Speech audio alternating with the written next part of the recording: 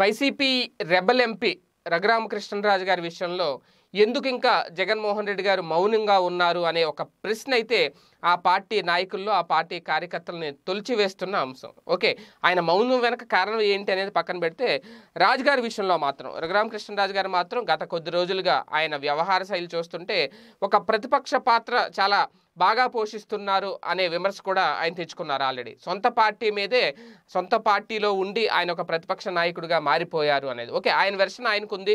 ఆయన చెప్పే మాటలు ఆయన చెప్పే సలహాలు ఆయన సూచనలు పార్టీకి సలహాలు సూచనలు ఇస్తున్నాను అంటూనే పార్టీని ఇరుకుని పెట్టే విధంగా ఆయన చేస్తున్న వ్యాఖ్యలు ఏవైతే ఉన్నాయో అవి గత కొద్ది రోజులుగా సంచలనంగా మారుతున్నాయి. ఇప్పటికే ఆయనకు సంబంధించి ఆయన మీద అనర్హత వేటు వేయాలి అని చెప్పి లోక్సభ స్పీకర్కు ఫిర్యాదు కూడా చేసింది పార్టీ.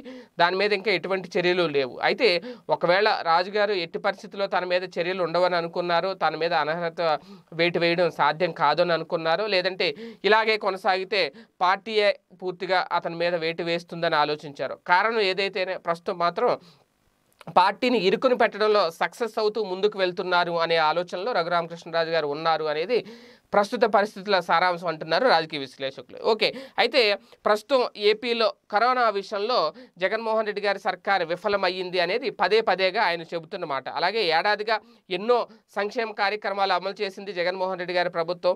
అయితే వాటన్నిటి మీద కూడా బురజల్లే ప్రయత్నం చేయడం ఏదో విధంగా వాటిని వాటి నుంచి ప్రజల దృష్టి మరల్చే విషయంలో కూడా రాజుగారి వ్యాఖ్యలు బాగా ఉపయోగపడుతున్నాయి అంటున్నారు కొంతమంది రాజకీయ విశ్లేషకులు. కానీ రాజకీయ రాజకీయంగా వైసీపీ ఒకవేళ అధికారికంగా కూడా ఎంత బలం ఉండి కూడా ఎందుకు రఘురామకృష్ణరాజు గారి మీద ఒక కీలక నిర్ణయం తీసుకోలేకపోతుంది? ఎందుకు మౌనంగా ముందుకు వెళ్తుంది?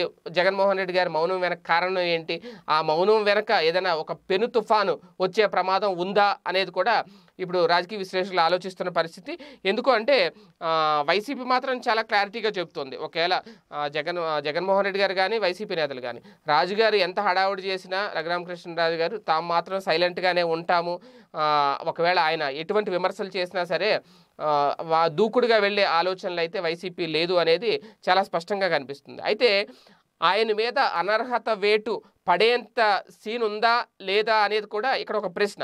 ఇక ఆయన నోరు ఆయన ఇష్టమని వదిలేస్తుంది వైసీపీ అనేది మరొక అనుమానం. ఒకవేళ ఆయన ఆలోచనలతో ఆయన స్టేట్మెంట్ ఇచ్చుకుంటూ పోతారు మనకెందుకులే అని చెప్పి లైట్ తీసుకుందా వైసీపీ అంటే ఖచ్చితంగా అవుననే చెప్పాలి.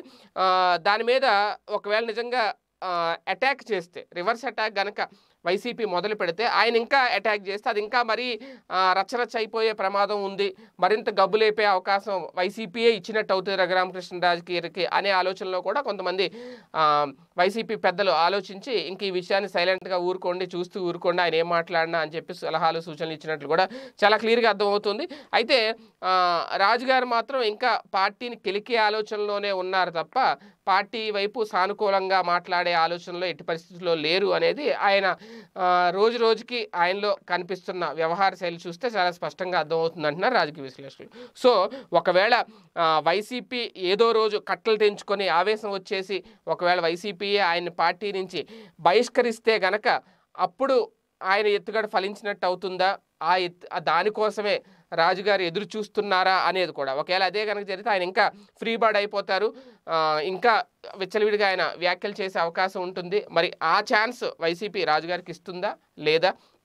అంటే వైసీపీ ఆయన మీద బహిష్కరణ వేటు వేస్తుందా? లేదంటే ఈ మౌనమే ఇలా కొన్ని రోజులు కంటిన్యూ చేస్తుందా? ఏంటనేది వేచి చూడాలి అంటున్నారు రాజకీయ విశ్లేషకులు.